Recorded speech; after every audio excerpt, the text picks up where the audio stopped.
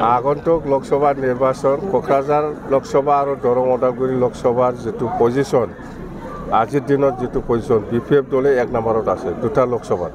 আৰু B P এফে জিকিব বুলি আমি জানো?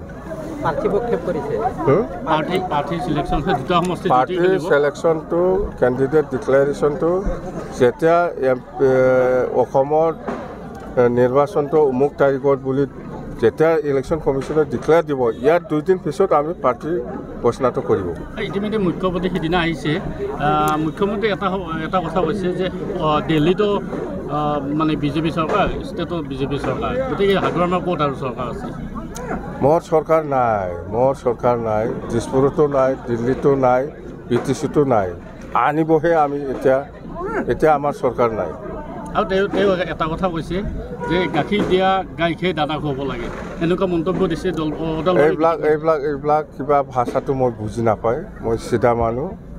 আমি কৈছোঁ যে বি পি এফ দলে কোকৰাঝাৰ লোকসভাটো জিকিব আৰু দৰং ওদালগুৰি লোকসভাটো জিকিব। এইবিলাক থেৰা মেৰা কথাবিলাক মই বুজি নাপায়। যথেষ্ট লোক বি পি এফত যোগদান কৰা দেখিব দেখিবলৈ পাইছোঁ। বহুত daily daily B P F B P F দলক বিজেপিৰো যোগদান কৰে ইউ পি পিৰো যোগদান কৰি আছে ডেইলি এইটো অভাৱ নাই। কোকৰাঝাৰত ইতিমধ্যে মিত্ৰজোঁটৰ প্ৰাৰ্থী প্ৰক্ষেপ কৰিব ইউ পি পি এলে। নাই এইটোতো এন ডি এ হিচাপে ডিক্লেয়াৰ দিব আজি ডিক্লেয়াৰ দিব না কালি ডিক্লেয়াৰ দিব মুঠতে সোনকালে দিব বুলি আমি শুনি আছোঁ। সাংসদ নৱকুমাৰ শৰণে কি হ'ব? দুবাৰকৈ সাংসদ হৈছিল তেখেতে। নাই সেইটোতো মিছাকৈ হৈছে। সি নিজে ট্ৰাইবেল হৈ পেলাই বেলেগক মানে বুৰ্বক বনাই পেলাই অনাবৰসকলক মানে ভোট লৈ পেলাই জিকিছে। এইটোতো আৰু কাহানী গ'ল এতিয়া আৰু নাই এই কাহানীটো।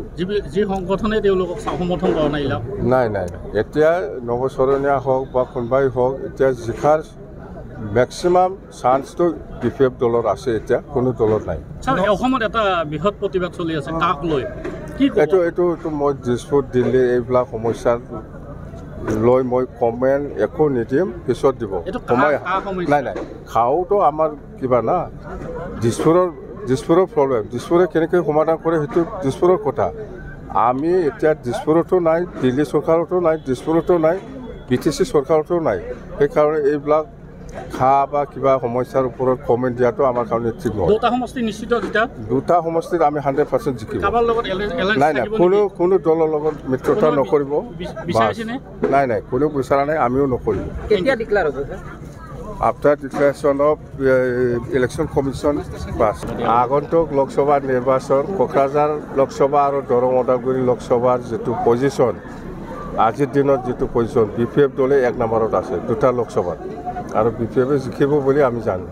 পাৰ্টি পাৰ্টি চিলেকশ্যন দুটা সমষ্টি জিকি পাৰ্টিৰ খেলিব। ছিলেকশ্যনটো কেণ্ডিডেট ডিক্লেৰেশ্যনটো যেতিয়া অসমত নিৰ্বাচনটো অমুক তাৰিখত বুলি যেতিয়া ইলেকশ্যন কমিশ্যনে ডিক্লেয়াৰ দিব ইয়াৰ দুইদিন পিছত আমি পাৰ্টি ঘোষণাটো কৰিব। ইতিমধ্যে মুখ্যমন্ত্ৰী সিদিনা আহিছে। আহ, মুখ্যমন্ত্ৰী এটা এটা কথা কৈছে যে দিল্লীতো মানে বিজেপি চৰকাৰ ষ্টেটত বিজেপি চৰকাৰ গতিকে হাগুৰামাৰ ক'ত আৰু চৰকাৰ আছে? মোৰ চৰকাৰ নাই মোৰ চৰকাৰ নাই দিছপুৰতো নাই দিল্লীতো নাই বি টি চিতো নাই। আনিবহে আমি এতিয়া এতিয়া আমাৰ চৰকাৰ নাই।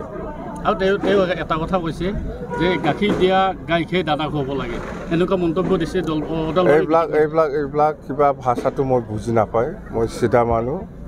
আমি কৈছোঁ যে বি পি এফ দলে কোকৰাঝাৰ লোকসভাটো জিকিব আৰু দৰং ওদালগুৰি লোকসভাটো জিকিব। এইবিলাক থেৰা মেৰা কথাবিলাক মই বুজি নাপায় যথেষ্ট লোক বি পি এফত যোগদান কৰা দেখিব দেখিবলৈ পাইছোঁ। বহুত দিন।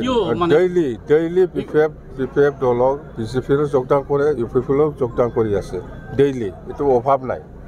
কোকৰাঝাৰত ইতিমধ্যে মিত্ৰজোঁটৰ প্ৰাৰ্থী প্ৰক্ষেপ কৰিব ইউ পি পি এলে এইটোতো এন ডি এ হিচাপে ডিক্লেয়াৰ দিব আজি ডিক্লেয়াৰ দিব না কালি ডিক্লেয়াৰ দিব মুঠতে সোনকালে দিব বুলি আমি শুনি আছোঁ।